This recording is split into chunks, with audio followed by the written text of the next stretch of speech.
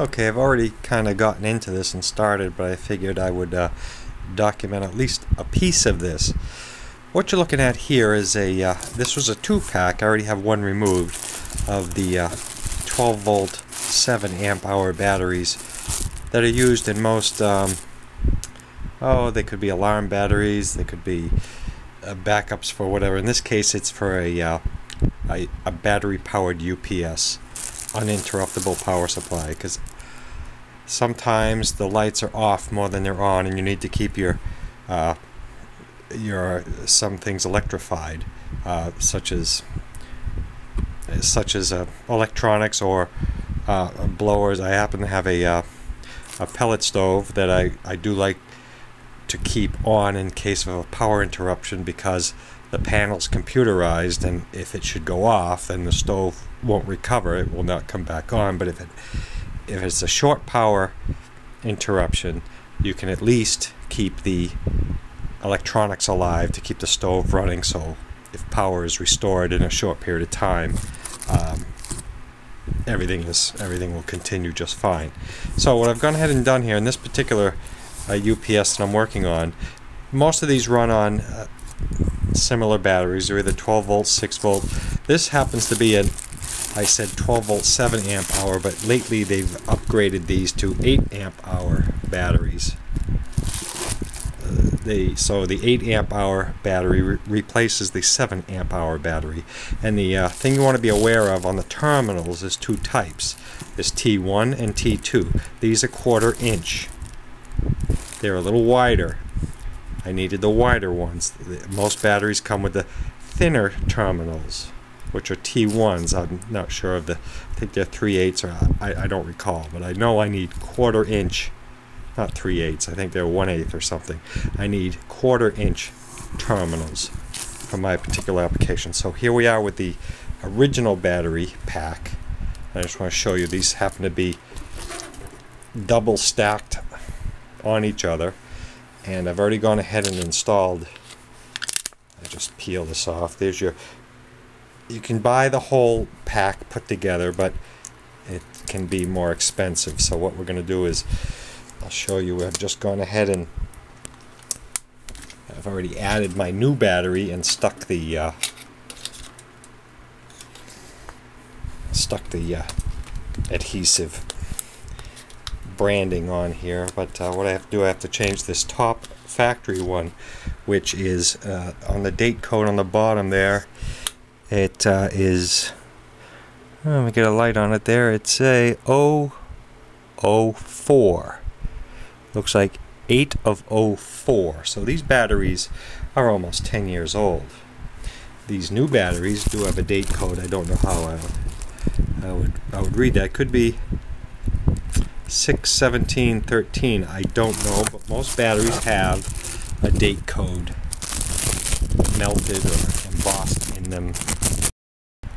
Most have a date code embossed in them somewhere, where these do not. There must be the date code on the label. But usually somewhere on most batteries you'll find an impression of the date.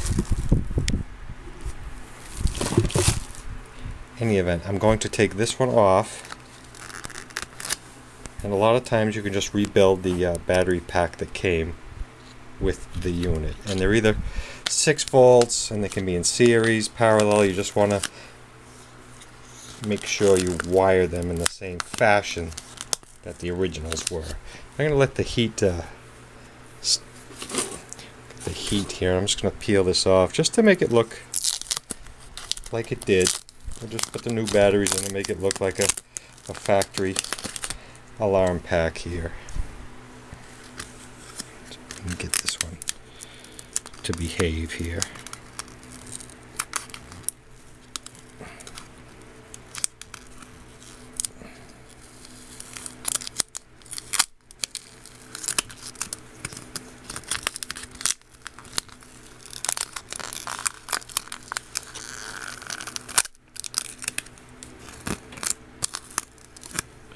These are the most common batteries you'll you'll find in all types of things. Now it's hard to do one-handed here, so what I want to do is pull the top one off.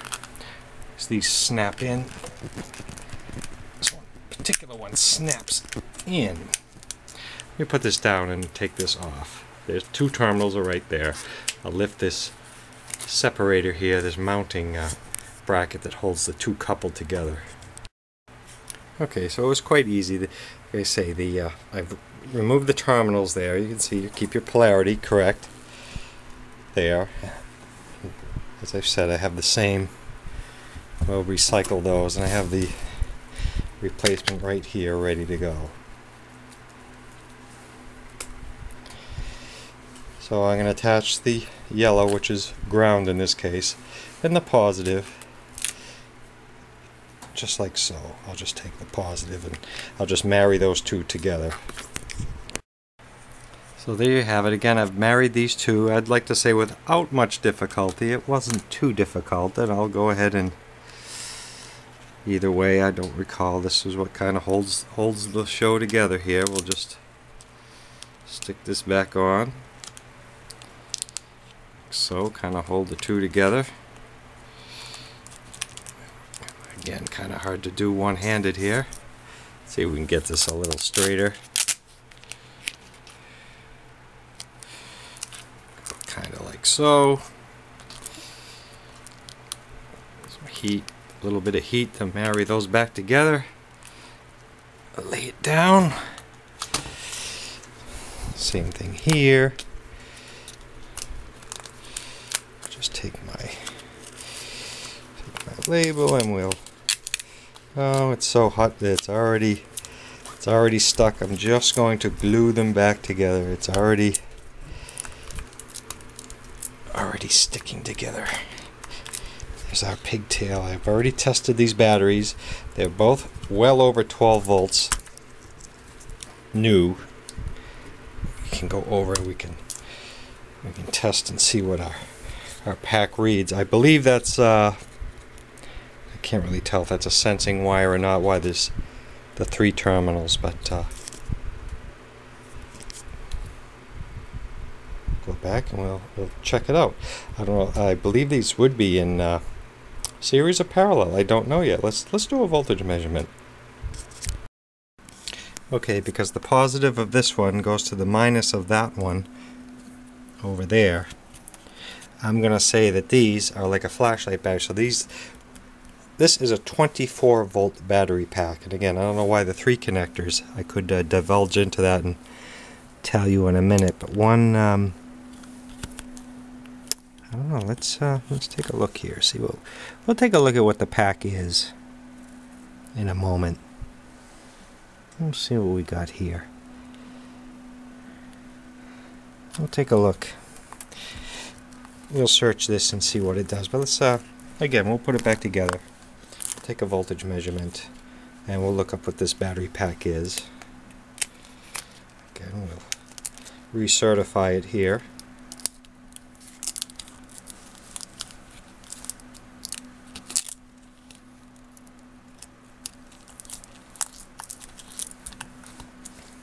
And uh, let's take a voltage measurement and see what we get.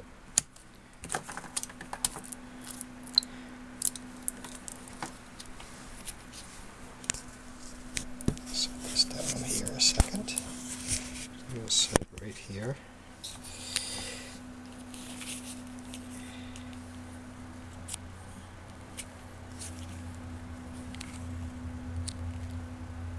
it's uh, coming through at, uh, as I said, 25 volts. So these are in um,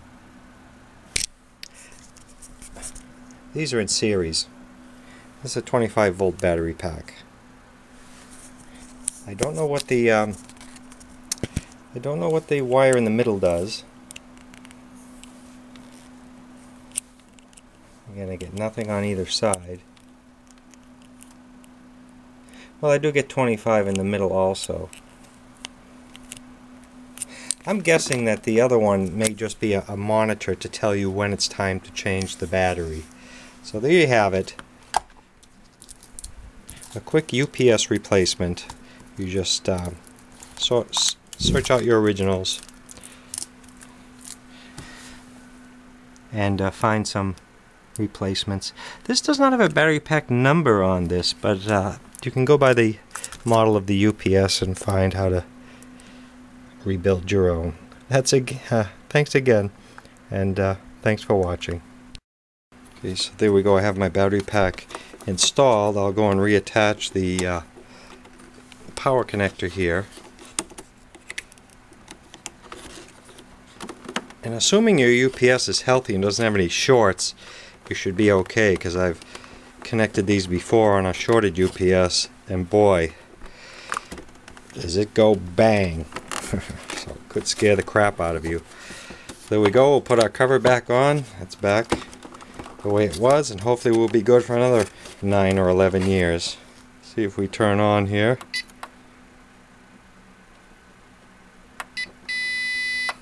and there it goes. It's going through a self-test. As you can see I don't have it plugged in so I could check the output of it. Fan is running.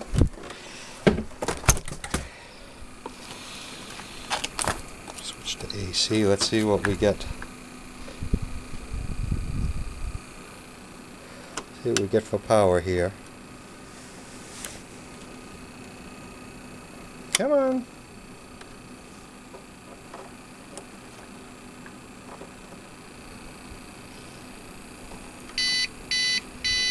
I know, you're on battery.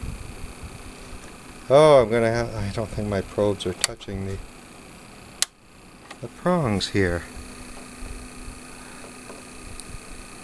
Oh, surge only. So these are the battery backup. Here we go.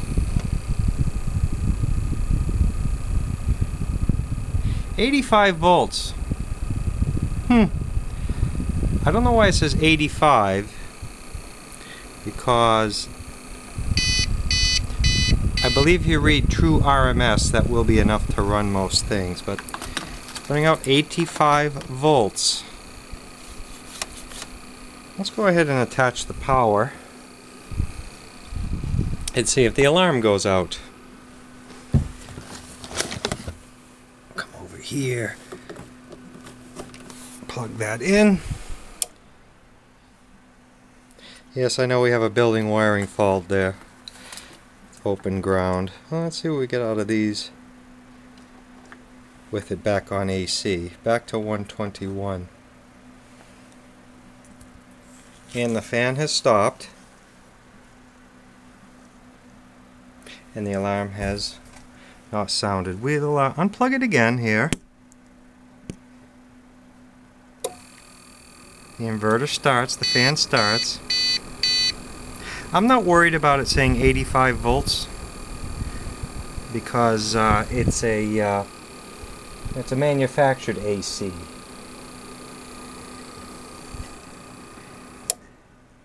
And we're back. So I'll give this a clean bill of health. And uh, that's the end. And it looks like you can add an uh, for more extended runtime you can add another battery pack here if you if you so choose. And that's how you uh, that's how you re re-up your UPS uh, should the batteries uh, fail. Thanks for watching I was just checking online and there's our uh, UPS battery pack and uh, we paid significantly less. We probably paid half price for that if you don't mind assembling it yourself. This is too funny. If I, I try to look for the external battery pack for that, I click on it and it is the company and uh, we get system error. So that link is broken and if I pick here